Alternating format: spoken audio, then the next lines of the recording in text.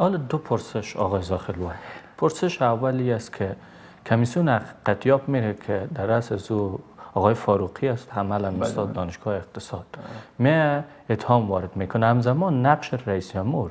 رئیس جمهور یکی از موارد که شما میگین ادعایش 215 میلیون بود که بدتر 100 میلیون نشان میده ادعای دومش که منافع ملی می‌تونه قانون بشکنانه و او بحثشی بود که اگر یک ساعت هم تاخیر می منافع 100 میلیون دلاری می‌تونه قانون بشکنانه.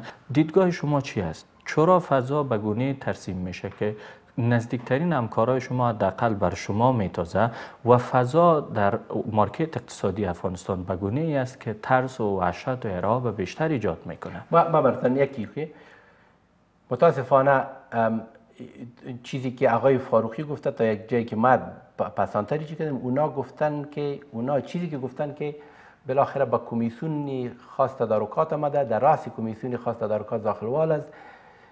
سکرتریتی که معلومات به کمیسیون بدن این معلومات درست ارایه نکرده.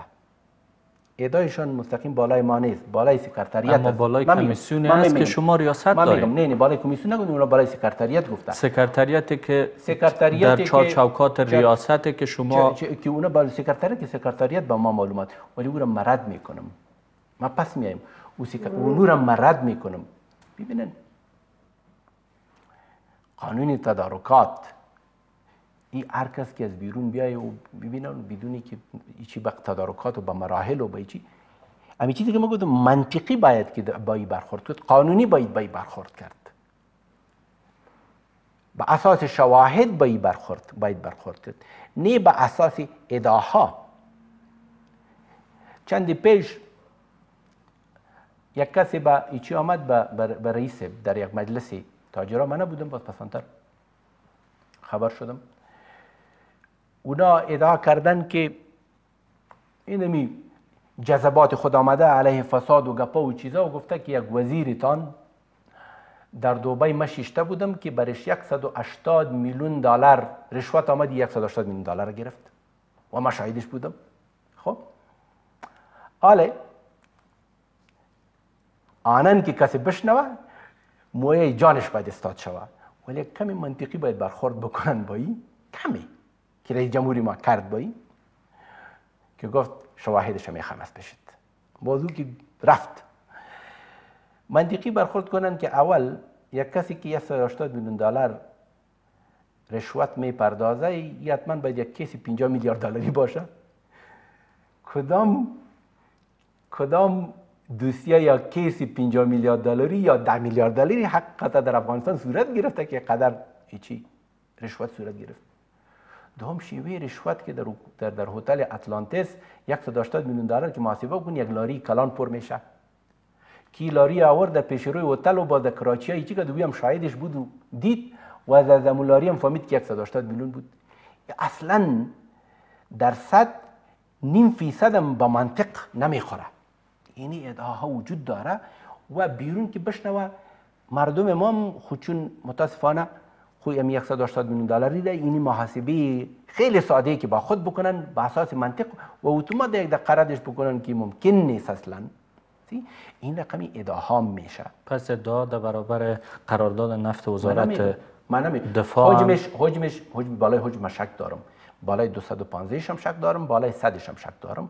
ولی این به معنی این نیست که دی فساد صورت نگرفته شاید گرفته باشه. به معنی ای هم نیست که ام که, که, که, که, که گرفته شاید هم که نگرفته باشه. این وظیفه من نیست. به عنوان آخرین پرسش مرتبط به می. اگر پیشتر در برابر شما شخصیت کشی از آدرس های متفاوت می‌شد قابل درک بود. اما چرا نظام که شما شریکش هستین و همکارای نزدیکتان در حال توطئه برابر شما ما گفتم شخصیت کشی در این مورد اگر اگر شخصیت کشی از یک ادرس یک از تلویزیون مشخص در صورت می‌گیره. چرا تلویزیون های دیگه به اون شکل که یک تلویزیون می‌گیره به اون شکل نگرفت که؟ همین منتصل نام ما به هر شکلی که در چیزی داخل باشه که هیچ نوع رابطی نداشته باشن قواری مرا در تلویزیون نداختن. تا که چی شود اما بعدش همکارای شما هست. همکار شما آقای فاروقی فاروقی کمیسیون را گفتم, گفتم سکرتریت کمیسیون را متهم می‌کنه که ببینن شما ریاست شده ببینن ببینن اگر در سکرتریت کسی ملوث به فساد باشه به ما چی تعلق داره؟ آمر من مسئول. درجه یک اداره نیست؟ آمر مسئول درجه یک اداره می باشه یک کسی تو رشوت می‌خوره. پاسخگوی شوست بالای شواهد باشه. ولی در این قضیه ما دفاع از او سکرتریت می‌کنم. اگر قابل دفاع نبود هیچ ضرورت ندارم که دفاعش بکنم. چی مجبوریت دارم دفاعش بکنم؟ پاسخ خود بگویم. پس اقدامات تا امروز در برابر قرارداد نفت و چیز کمیسیون حقیقتیاب تهیه کرده و سوال برانگیز است. سوال. برانگیز است. سوال برانگیز است به من.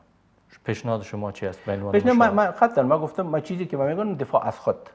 رول ما من حیث یکی از اعضای کمیسیون که وزنش یکسان هست.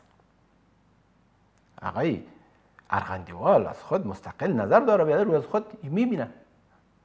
وزیر عدلی از خود می‌بینه. یک امضام کم باشه و منظور نمیشه. ما به رویت اسناد تنها و تنها پروسه تطبیق شده نشده. بالای پروسه تطبیق شده. اگر تطبیق نشده جنرال امریکایی چرا امضا کرده؟ او هم باید جواب بگوید. سپاسگزار هستم. تشکر از شما. سپاس از فرصتی که در اختیارم گذاشتید و از حوصله‌مندی که به پرسش هایم پاسخ گفتید و سپاس ویژه از شما بیننده های عزیز که تا این دم گفتگوی ویژه مرا با حضرت عمر زاخلوال پیگیری کردید. تا دیدار بعد الا نگهدار.